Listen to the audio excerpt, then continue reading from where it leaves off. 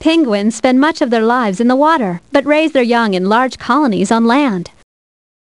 Most species lay their eggs in shallow nests on the ground. However, these male emperor penguins carry the egg on their feet, keeping it warm with their bellies until the chick hatches.